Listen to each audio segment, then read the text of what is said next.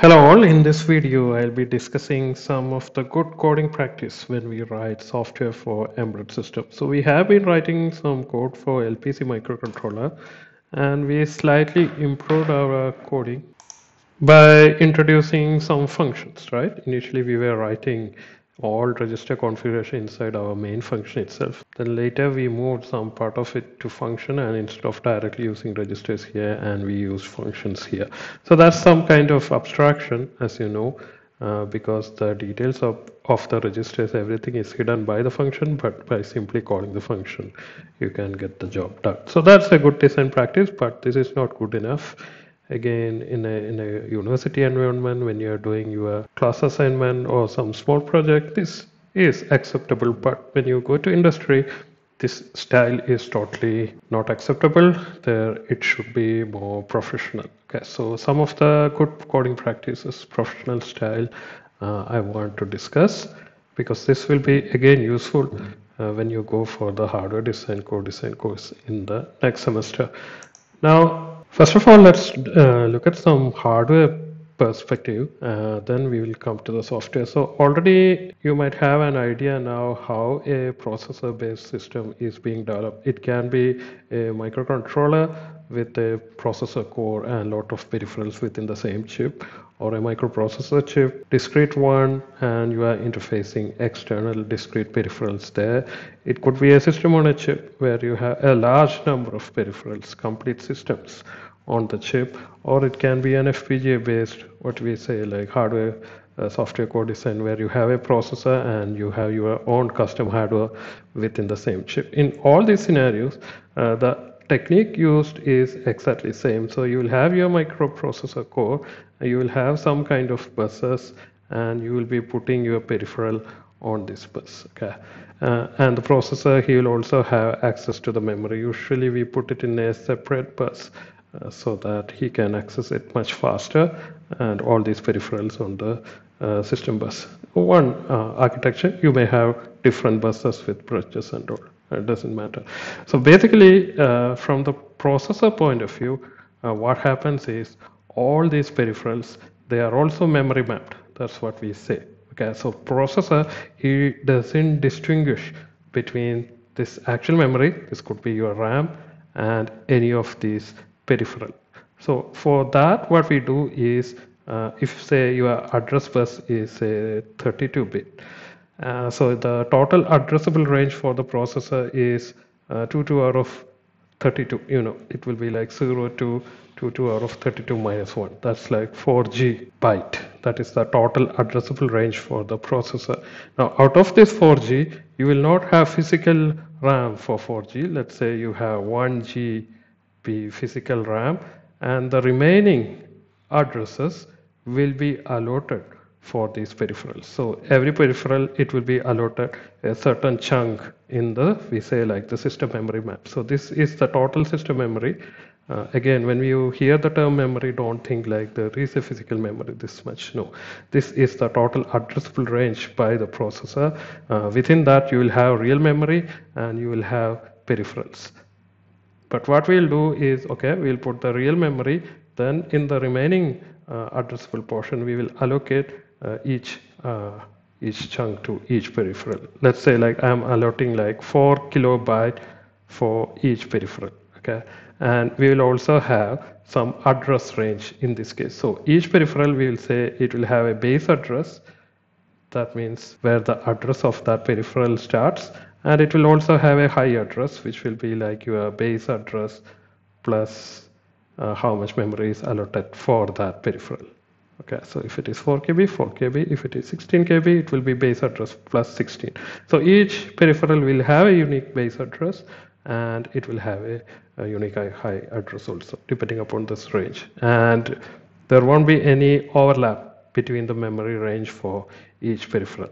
Now suppose if the processor wants to read or write from the memory, uh, he'll use the range allotted for your actual memory. Usually that will be starting from zero. That's how you will allot so if he is reading or writing from a memory range within 1 GB, it will be happening from this physical memory. But suppose he is reading and writing, uh, say 1.1 G memory range, and if it comes within the range for this peripheral actually he is reading and writing from this peripheral not from the memory but again as i mentioned before from processor perspective it seems like he is reading and writing from memory itself. So this is what we call as memory mapped input output operation where your input output devices, your peripherals, they are also mapped to the system memory map. And uh, you can see the advantages here. This provides some kind of abstraction. Uh, when we go for the assembly coding or when you look at the processor instruction, if we have this memory mapped IO operation, you don't need separate instruction for accessing memory and separate instruction for accessing uh, peripherals IO with same instruction, say move instruction, you can access the memory as well as the peripheral. Uh, only thing that changes is the memory range from where you are reading. And we need some logic here, okay? Of course, we need some guy sitting in between uh, who should decide when a read or write operation comes to a uh, particular address whether it should go to this memory or whether it should go to the peripheral or whether it should go to uh, this peripheral. There should be some guy who is deciding it. Usually that will be some kind of memory management unit come uh, we can say some interconnect we don't worry about it at this point but somehow that is happening okay so this is from the hardware perspective so later when you are developing your own hardware also uh, what you will basically do is uh, you will have a bunch of registers as we have seen for every peripheral. You will definitely have a control register and a status register and usually an interrupt register also. Uh, then you will have a data register of course where you can read and write data. So at least these many registers you will definitely have inside your hardware and you will expose only the addresses of these registers through the data sheet or whatever. Now those who want to use your peripheral they don't have to know about anything else but only about the addresses of these registers and what each register is supposed to do. So that's what you are going to do. And the addresses, again, for each register, you will usually start from uh, 0, 0x0, 4, 8, something like that. Then uh, what happens is once you integrate it to the system, the actual address of each register will be like the sum of the base address given to that peripheral plus the actual address of the register. In case of LPC, uh, what happens is since the chip is already manufactured everything uh, in the datasheet itself, uh, you will see like uh, each register has a, a big address without uh, referring to any base address. But the technique is exactly same if you are using a microcontroller or as I mentioned, you have a microprocessor and you are interfacing the register. So if you look at this uh, header file, you can see they are using that uh, style. For example, timer 0, you can see they have declared a base address for timer 0 and this is the base address E000 4000 in hex and every other register within timer 0 is referred with reference to this base address. For example, yeah, we have interrupt register here whose absolute address is 0 but from the processor perspective now the address of this register is this base address plus 0 which is base address okay? Then we have timer control register his actual absolute address is this base address plus 4 okay? So here you can see the step uh, since uh, this is a microcontroller since all peripherals are already integrated uh, this base address is not going to change if you are building a microprocessor system you only have the microprocessor then the peripherals uh, you are adding uh, in that case what will be the base address of each peripheral uh, you will be able to define it okay so but the style is exactly same. Now let's come to the software development. So when you are developing software, again, uh, it will have a layered architecture. So you know, like at the uh, bottommost layer, we have our actual hardware, the real hardware which is sitting there, and the hardware is exposed to the software only through these registers. Okay, how exactly hardware is internally working as a software developer, if you're a software developer, you don't care. You only know uh, what are the registers, what they are supposed to do. That's it. That's enough for you, and the addresses of the register. So this is some kind of abstraction. You can say this. Uh, we can say this is a kind of hardware abstraction. You have abstracted all the details of your hardware uh, through this register. On top of this, uh, you will write your first layer of software, which we usually call a driver okay so driver is a very low level uh, software usually again written explicitly in C or C++. That's what. Or in some case, assembly also we'll use uh, for critical sections. We may use assembly also. It's a very low level uh, software. The thing is, this software, he will abstract all the information about this low level registers from the higher level softwares. Okay, so usually every driver, he will provide some functions we usually call those functions as API, application program interfaces. So the driver, he will be providing you some functions and using that function, you will be able to access the hardware through the driver. Usually those functions will be, okay, write, you will definitely have a write function and you can use this function to write to your hardware and maybe a read function for reading from the hardware. So the upper level software the guy who is sitting on top of it, uh, let's call him uh, application software. He will access your hardware through the driver using these API codes. So when he wants to write some data to your device, okay, again, he doesn't have to know what is the address of the register where this uh, data should be written. The only thing he has to know is what is the name of the function in the driver which is used for writing. So once he know that, okay, he will call that function along with the data that he wants to write. So it will come to the driver. Now driver, he will know all the details of the registers. So he knows like, okay, I need to write to this data and he will know like to which register, which is the data register and he will write to that particular register. Same way, if he wants to read some data, he will just call the function read. The call will come to the driver. Driver will know which is the data register from where he has to read and he will read from there and send it to the higher level software. Uh, that is one kind of API. Again, uh, suppose this device at one time he can say accept only 32-bit data. Okay, so you develop some hardware which can do some data processing, but at one time he can accept only 32-bit data. Again, application software he doesn't care. He sends some 4 kilobyte uh, data to the hardware through the driver. So what the driver does, he knows like, okay, this guy can accept only 32 bit. So he will divide this large block of data into chunks of 32. He will send the first 32 and he will process it and the driver will know when he finished processing either through interrupt or polling okay once he finds he finished 32 he will send the next 32 next 32 so and so forth until we finish all 4 kb once we finish all 4 kb uh, driver tell the application like okay done. What is the advantage here? Again your hardware details they are abstracted from the application software through the driver. The application he doesn't have to really know all these hardware uh, limitation. So this is the style we will always follow in industry as well as in good embedded software development. Uh, you might have noticed again for your computer whenever you buy a new hardware it usually comes with a driver software and to get the full features of that hardware uh, you will have to install that driver because nowadays many uh, drivers they are coming as part of your operating system also uh, uh as you know because some function uh, there is an understanding among the vendors, hardware vendors, like they will be consistently using same function name, same APIs for accessing the hardware.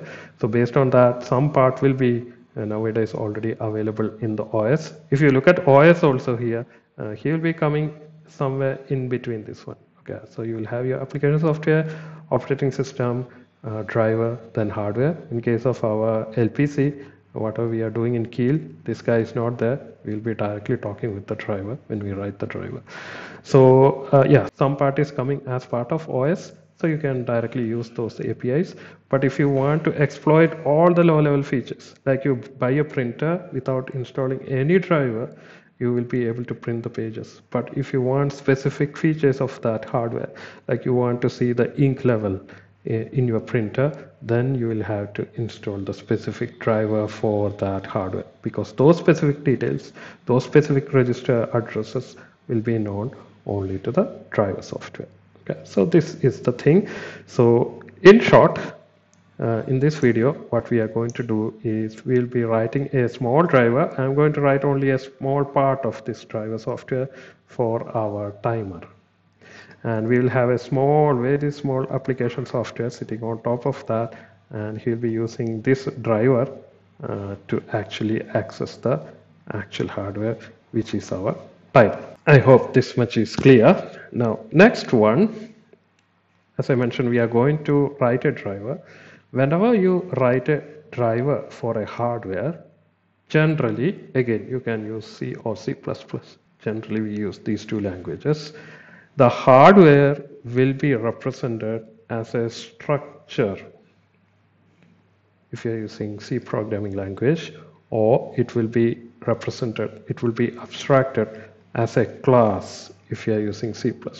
Uh, I assume not everyone knows C++, so we are now concentrating on C, but this can be done much more beautifully in C++ because the uh, real essence of object-oriented programming you can uh, use here. Maybe in a different video I will show you same thing how we can do in uh, C++. Then you will appreciate uh, object-oriented programming much better here. So we are going to use C. So in C, we are going to abstract our hardware. We are going to represent our hardware as a structure. And I hope you know what structures are. So structures, they are data type in C, which can store data of different type. Okay, so this is like a package, and this package can store multiple data elements and their data type can be different. That is one thing. And second thing, whenever you write a driver, usually you will always have two files. One will be a header file. In case of timer, let me say it will be a header file called timer.h and you will have a source file with the same name but with extension .c. Okay, so the structure which is representing the hardware we will declare it in the header file like if you know how to use header file standard way. So the structure will be declared here and all the functions all the apis uh, for this timer they will be declared here. Now the definition of those apis those uh, functions we'll be writing in this source code timer.c then your application software in our case i will be using a file called maybe simply main.c uh, if he wants to use this particular hardware, our timer, he will have to include this header file here, uh, timer.h. Then he will have to create a variable from the structure data type. So if the name of the structure was timer, we'll just have timer, timer one or something. Then to use this actual hardware, you will use the APIs uh, defined in timer.c, which are declared in timer.h. And to all those APIs, you will be passing this uh, timer.one variable, the structure variable as an argument. Okay, so this is the background. I hope it will be clearer when we go and write the code. So let's go ahead and start coding. Okay, so I'm using the same project. Okay, so till now what I did was if you want to have a new say source code, uh, I always used to have a new C file and I used to remove the C file with main function from the source code and add it here. Because in one project uh, at a one time you cannot have more than one main file. That's what I said. Uh, that is not necessary always. What you can do is I just wanted to show a feature of Keil also. What you can do is uh, you can right click this one and you can choose add group here. So similar to source group one uh, you can see an option here new group here. So this one uh, let me just call this new group as timer. So I'm going to write all my uh, code in C and going to keep it inside this timer group which is basically a folder okay? Now when you compile you can explicitly say whether you want to compile this group or this group. Based on that, he will compile either this one or this one, and uh, whichever is the latest compiled, when you run your code, uh, that is one which will get executed. Okay, so let's go ahead and write. So as I mentioned before, the hardware, it will be represented as a structure uh, in my driver. Okay, so first I am going to write that structure for timer and I will be keeping it in a header file called timer.h. If you are using DMA, you will keep it in DMA.h. If you are using GPIO, you will keep it in GPIO.h.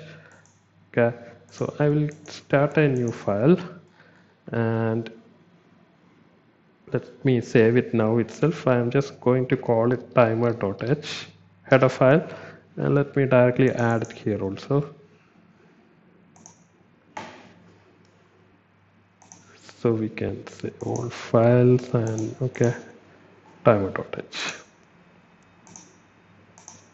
Okay, so now that one is here. So let me declare my structure. Now, whenever you write a header file, this is applicable not only to embedded development, but anywhere, whenever you write a header file, usually uh, at the top we will have something like hash ifndef followed by something.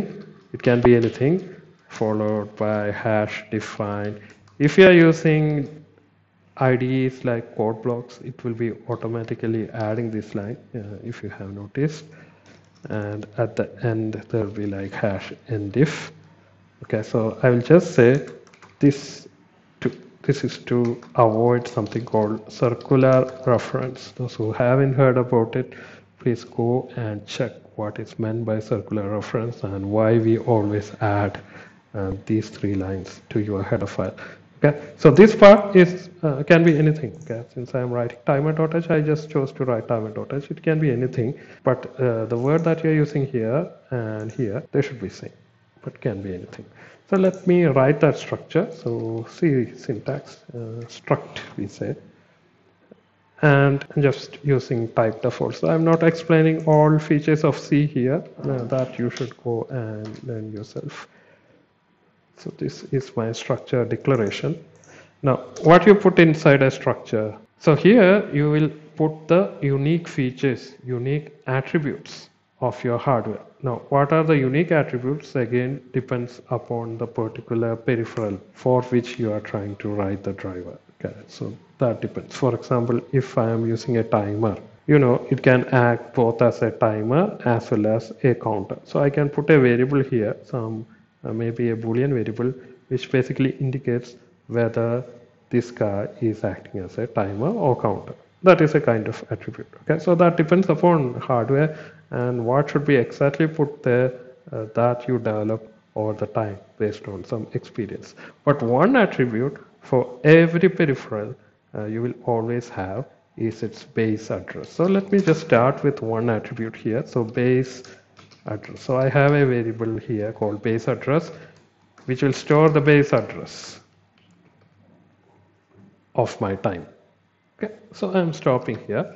So now let me go ahead and write the timer.c file, the source code, uh, which will have the APIs for this timer, the functions for this timer. Okay, so I'm starting a new one. And in the dot .c file, you will always include this dot .h file okay. Again reason uh, I hope you know that is the style in C. And we'll use double quote because this is a user defined header file timer.h okay. So one again. Let me save it. Timer.c and let me add it now itself.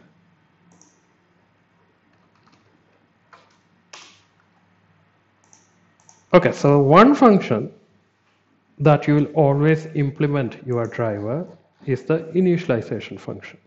Okay, so whenever uh, you create a variable later from the structure to represent your hardware, uh, you will have to initialize your hardware. That could be some register configuration, uh, some operations, right? Again, depends upon the particular uh, peripheral you are using, but you will definitely have a initialization function. So let's try to write the initialization function for this timer and let's see what we will do it in. So again, it's like a normal function. Let me just call it init timer.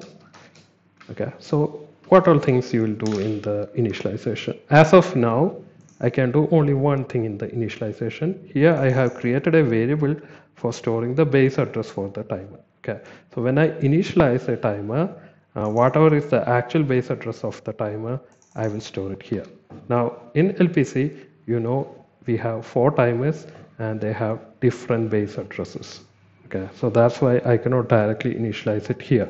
Because I don't know which timer you are going to model uh, for which timer you are going to use this driver. So whichever timer you are targeting his base address should be written here. That we can do only in this initialization. Only at the time of initialization we will know like uh, which timer the user is planning to use from the application software. So what value I'll put it in base address.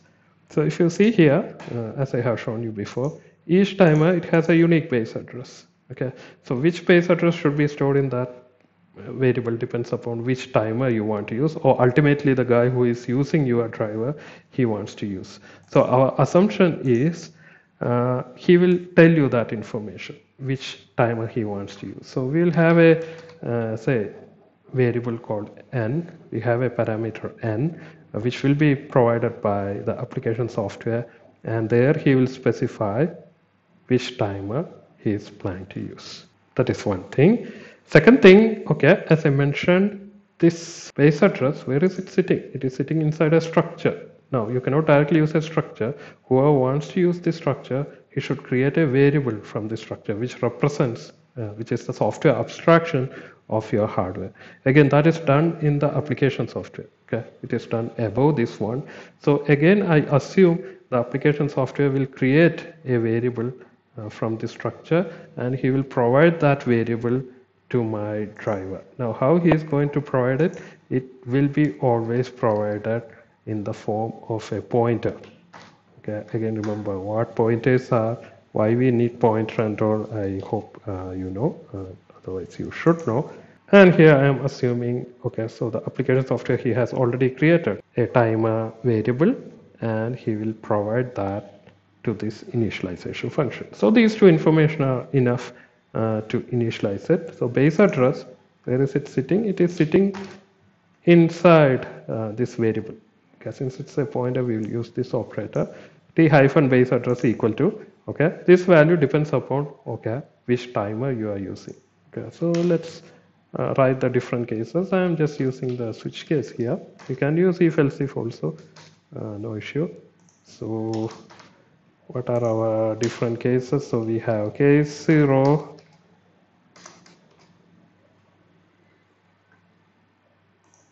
then case 1, case 2, case 3. These are our different cases. So if it is case 0, base address is, okay, this one.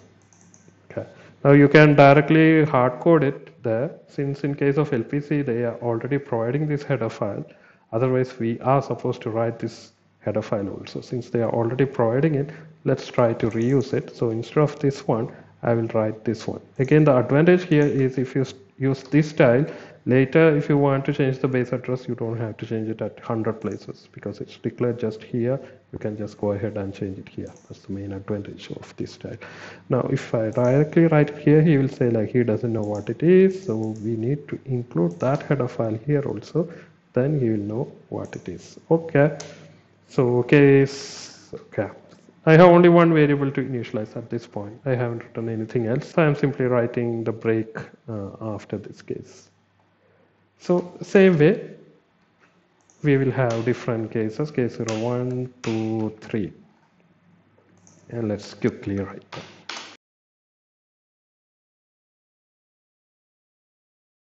Okay, so we have done all the cases. Now assume by accident or intentionally the user gave a number which is not 0 to 3. He wanted to use the timer 5.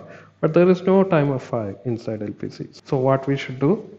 Uh, the initialization function should return some error condition to say like, okay, uh, whatever you ask for, the initialization function failed. That's what is indicating. That's why I wrote in here, there is a return type.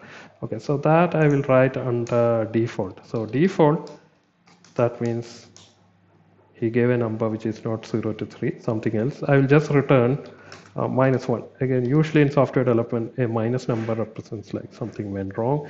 If it is successful, we usually return 0. Okay, so let's return 0 here. So this completes our initialization function. Now you can have other APIs also, as I mentioned, that is peripheral dependent. For example, timer, you can have an API to start the timer, an API to stop the timer, an API to enable some capture interface, uh, set the match register. All these can be different, different function, different, different APIs. Okay, so I'm just showing one example. Uh, remaining ones you can try. For example, I want to write an API. I want to write a function for starting the timer. Okay, so let me write it void. Okay, the function is not returning anything uh, because I don't see any condition under which I cannot start a timer once it has successfully initialized. Okay, so that's why I'm writing it as void. Again, every API, it will get that structure variable as an argument. Okay, so timer t that represents the timer itself. This variable represents the actual timer. So what you are supposed to do?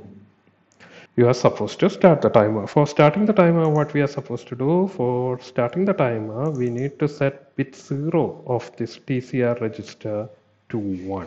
That's what we are supposed to do. Timer control register. Now the problem is again here, I don't have the information which timer he wants to start but he is giving me a variable which is representing that timer. And this function will be called only after initializing the timer okay? And the user he is supposed to do it like that. He's supposed to call any api only after calling this initialize api so which timer he wants to use since it is already initialized, the base address information is directly available inside that, right? So if I use uh, this style, I will get the base address of this timer. If you know base address, it is pretty straightforward to get the address of TCR. That is always base address plus 4. So one way for writing it could be like, again, you can write a case statement here and you can write uh, if base address is this one write to this register base address is this one write to the next register depending upon whether base address is for timer 0 timer 1 etc again that is not a very good coding practice okay? We will try to avoid hard coding as much as possible. So here i'm going to use again uh, the factor that if i know the base address i can just add 4 to that to get uh, the register address where I need to write. Now this writing operation, writing to register, we are going to encounter it again and again. Okay, so not only for starting timer, now for stopping timer, I will have to write. For configuring interrupt, I will have to write to some other register. So the write operation, register write operation, we'll be using over and over again. So what I can do is I can write it as a separate function but I won't write it as a API because that is a function I am using internally. I don't want to expose that function to the user. Okay, so whatever function I want to expose to user, okay, I will put it in the header file. For example, this init I want to export to user so that he can actually initialize it. I also want to expose this uh, timer start to the user so that also I will put here, only the declaration definitions are here. But register write, I'm going to use it as a like a local function internal to my driver. I will not put it there because the user he is not supposed to know about it. So let me write that function separately. So I can simply write void reg write and again I am writing it as general as possible.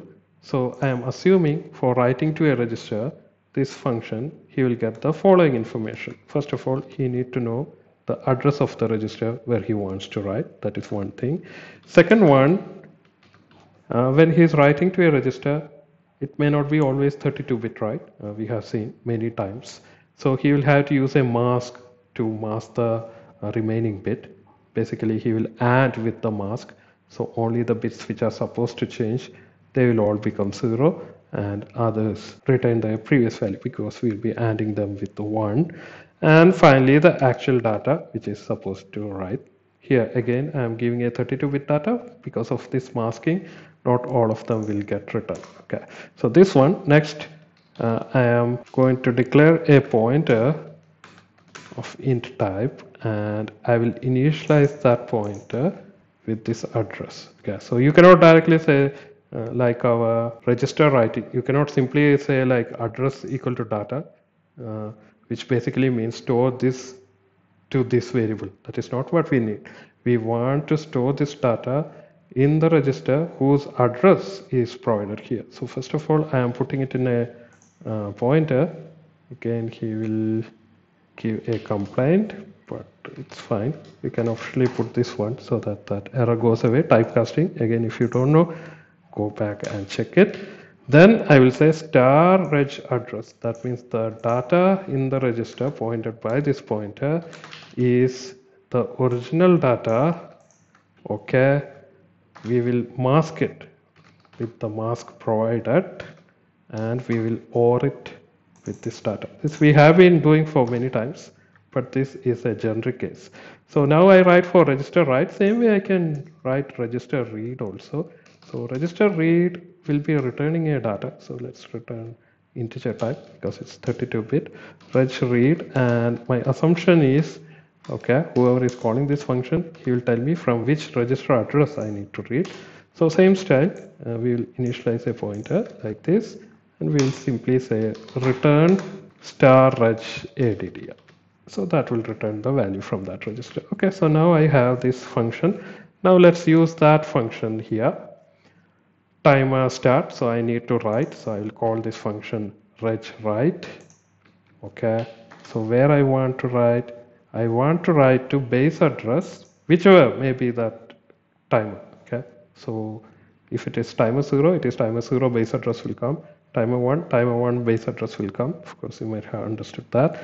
If I know base address it is 0x4 uh, add to that. That will give me the address of the timer control register now the mask with which I need to AND operation. So of course, you know, like I need to change only the lowermost bit. So I can mask with 1, 2, 3, 4, 5, 6, 7, E like this. And I need to write 1 there. So we can simply write 1 here. Okay, this will do the job. But again, uh, we will try to avoid hard coding as much as possible. We have hard coding at many places here. You can see 0x4 here, this mask here, this one here, they are all hard coded, right? We want to avoid all of them. So again, in standard coding, what we'll do is all these we will uh, declare as some constant defines. For example, I'm going to use this mask for setting the start stop bit. In both cases, I need to use this mask, right? So I will go to this timer.h and at the top itself, I will say define, okay, start stop. Mask. Is this one. Okay. So this is the mask for uh, masking. Start and stop bit and I will take this one. And I will put here. Same way this one. I will go here. And you will have a lot of mask here. Uh, of course you know you need to mask lot of bits. So you will write all of them here. Similarly we will say like uh, start something like timer uh, set or something there we will write like 1 2 3 4 5 6 again i'm writing seven zeros here. Again only for visual appealing. Again usually we will use this style so that your code looks cleaner. Everything in 32 bits. Okay so i will use that one here. Now this one how can we avoid? It? okay again all the offsets of the registers we will declare here. Uh, that is somehow declared here but uh, it is not in a way we can directly use. Okay so I will show you. For example uh, here hash define TCR offset. I'm not saying like which timer. If I know base address TCR offset is always 1 2 3 4 5 6 7 4 right? So what I can do is okay base address plus TCR offset start. So I don't have any uh, constants here. Because of this style, again, I can reuse this code many places. Okay, so suppose, again, if I am designing a general uh, microprocessor based system, if the TCR register address has changed to some other thing, suppose I am designing the timer itself. I don't have to change it at many places, I just have to change it here and it will reflect at every place. That is the advantage. Now, uh, I will show you one more feature, maybe in C, which we can use here this addition operation okay this is perfectly fine we can do like that but I just wanted to show you some feature in C. Uh, this operation if you wish you can write it separately uh, like a function but is not a function that is called a macro. So let me say like find effective address. Again those who haven't seen this style I'm just showing because if you look at any embedded code you might see this style also. So this is like a function but here I'm using it with hash define so these things we will call as macros. So what happens is uh, just like our hash defines here uh, here we are already using hash define and you know like wherever I have this uh, name it will be replaced by this value. Same thing is going to happen here also but this is more like a function. So I have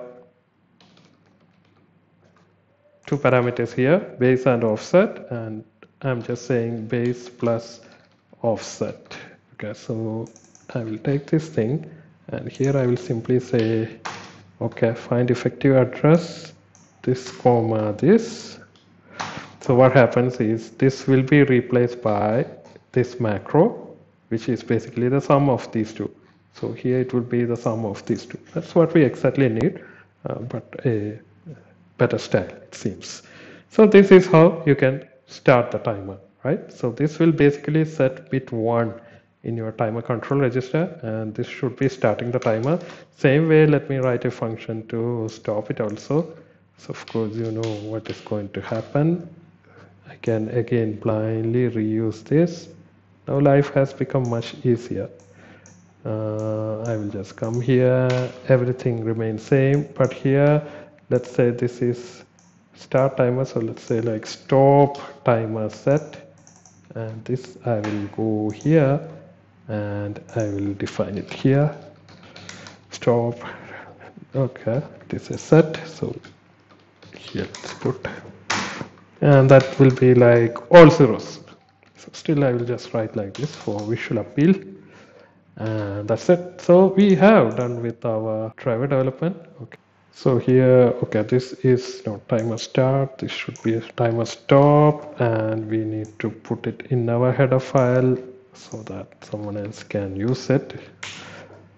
And we have reg read and reg write these functions. If you wish you can declare in a separate header file and include it here. Call it like okay timer uh, utility.h or something or you can declare them in the same file. Maybe at the top we will declare them separately. Because in C you are supposed to declare them uh, before using. So let's put this one. So I'm not putting it in the timer.h as I mentioned. These are not APIs these are some uh, utility functions I am using internally. So I don't want to expose these things to the user. That's why I'm not putting it in the header. If you put it there nothing will happen will work perfectly fine. So this completes our basic driver development but as you know uh, you can write several other APIs so I hope you will write all of them. Uh, you will have to write the mask set bits for all the cases here. You will have to write the offset for all the registers here. Then it makes the complete driver. So I'm stopping here because it's a demo. Now I will write my application software the topmost software which is going to use it so I will start a new file here. Let me just call it uh, main.c okay main.c what I need is I just want to start my timer. That's all I am planning to do here. So since I want to use the timer I will definitely include okay timer.h here. Then we have our main function. So as I mentioned if you want to use the timer first of all you need to create a variable from this structure. Okay so name of the structure is timer. From that I am going to create a timer. That you can do either in main or you can do outside main as a global variable. Again these kind of peripherals we usually declare outside main uh, and use it as a global variable. You can do it internally also but better to declare it outside. So this is my structure. This is a variable from that structure called timer 0 i'm calling it timer 0 because i just want to use timer 0 even if you call it by any other name it is perfectly fine so the first thing you need to do is, uh, as mentioned, you need to initialize it. So we will use this function to do the initialization. So you need to pass the address of this timer there. So ampersand this one and the timer number. I'm planning to use timer 0, 0. Okay, so this function will initialize the base address variable inside this uh, structure variable to the base address of timer 0. Next, what we should do we need to check whether the initialization was successful or not because his return type uh, we have already written like int because some cases he will fail if you don't do proper initialization. You initialize to some other okay. So we will check the status. Okay, status equal to so we'll declare a variable int status and we can check if status if successful it will be zero. Okay. Not equal to zero that means uh, initialization was failed. Now if your microcontroller has any lcd or monitor something you can do a printf here uh, by including the stdio.h and say like timer initialization failed. In our case okay as of now we don't have any output device other than leds interfaced. Okay. So what i will do is i'm not doing any print here I will just return minus 1. That means I will exit from my program because I couldn't initialize the timer. Now I will come here if it was successfully initialized. If it was initialized, okay, I want to start the timer. We will just call uh, timer start. That also take the timer variable as an argument. So we need to pass the address here again and that's it. Once we starts the timer okay our program is over. Okay so this is more like your application software. You can do other things also. You start the timer. Maybe you can put a delay there then you can stop. You can do input capture match everything provided you write uh, those apis also. But i am again stopping here. I will add that also to my source group so main. And one important thing if you are using a source group separately like this remember to put this startup file this assembly script here also. Otherwise it won't be working. So here also we'll add this lpc.s file. Remember to do that.